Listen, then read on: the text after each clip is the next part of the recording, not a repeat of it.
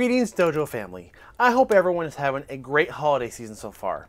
Now to cap off the end of this year and this season of Art of One Dojo, I wanted to do something a little bit different and share a story with you that I feel really encapsulates a lot of the messaging and philosophies that we try to put out here through our show. I came across this short story on sageartsstudio.com, so I'd like to give them credit for this. And if you like it, please visit their website as they have several more there to share. So, which martial art is the most powerful one?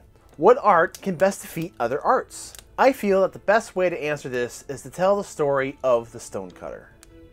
Once upon a time, there was a stonecutter that lived and worked in a vast land, spending his days wondering what it meant to be the most powerful.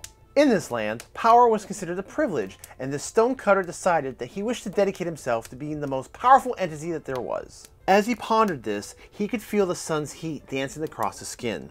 He looked up and realized the sun gives us life. It bathes us with its warmth and provides energy and light to our world, so surely it must be the most powerful. So the stonecutter became the sun. He raised up above the world, hot and radiant, and showered his energy down on the inhabitants below. He truly was a spectacle, and it seemed that his power would see no limit. Until one day, a cloud passed in front of him and blocked his light. Enraged, he cursed and exclaimed that the sun could not be the most powerful entity in the world if it was so easily thwarted by a measly cloud. If a cloud could stop the energy of the sun, then truly a cloud must be the most powerful entity. So he became a cloud, but not just any cloud. He grew into the biggest storm that the land had ever seen. High with his new powers, he showed the inhabitants just how powerful that he had become. When he felt generous, he gave them rains and water for their crops. But when he wanted to show his power, he cracked that sky open with lightning and gave them a horrible downpour and showed them his fury. Until one day he saw a boulder sitting there, completely unscathed and unfazed by his wrath. This angered him. How could he be truly the most powerful being if this boulder was unaffected? So he cast his fury down, blasting it with wind and rain, and cascaded attacks of lightning that cratered the dirt around it. For days he put on a show, but no matter what, that boulder sat there, ignoring his wrath. Bah! he exclaimed. He actually stopped and said, Bah! How could this be? If a boulder could be unaffected by the storm, then the cloud could not be the most powerful being. And the most powerful being must surely be a mighty boulder.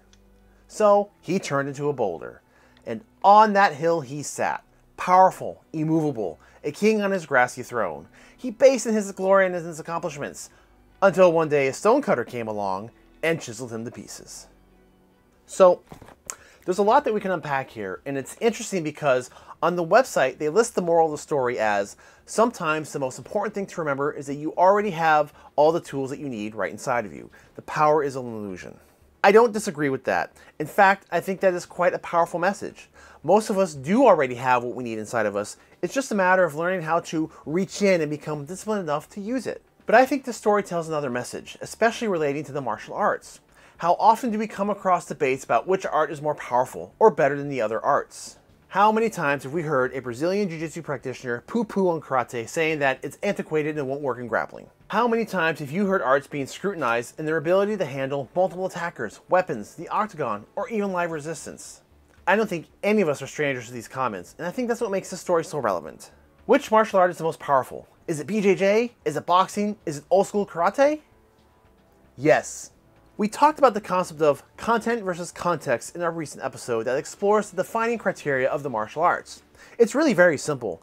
The value of any content is entirely dependent on the context in which it resides. The value of any martial art is entirely dependent on the context in which it is being applied. The competitive ring, the street, rehab and exercise, self-defense, home invasion, the battlefield, law enforcement all have drastically different elements that dictate the effectiveness of any given skill. It's that brutally simple and straightforward. The value and effectiveness of any martial art is completely dependent on the purpose it is being used.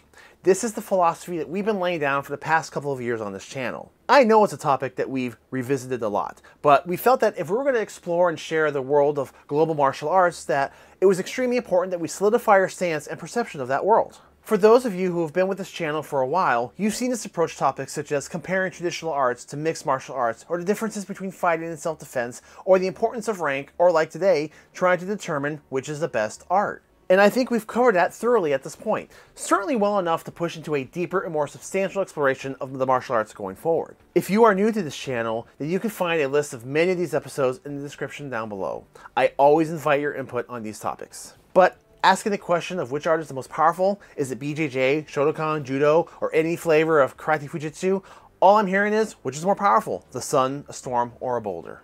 We're all stonecutters, and we all have tools. Instead of spending time searching for the best martial art, we may be better served to have that effort put into understanding the context that determines the effectiveness of each art.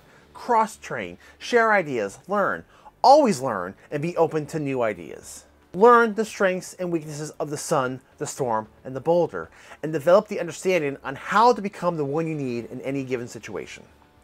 And that's our mission. That's the entire purpose of this channel, to explore different arts, to share history, ideas, training techniques, or any other aspect of the martial arts you may not have considered otherwise. And that's why I wanted to share this story today. It just hit that nerve and clarity that, and I felt that it would be an appropriate way to cap off the year. And I thank all of you for your patience, your input, and helping us carve the path of exploration over the past four years. We have a lot of exciting stuff on the horizon, a ton of topics, arts, and interviews that we're going to be bringing you in 2022. And I hope you all continue to make this trek with us and have the Art of One Dojo become a hub for martial arts unity and a dojo for all. Happy holidays, everyone, and we'll see you back here on the mat in the new year.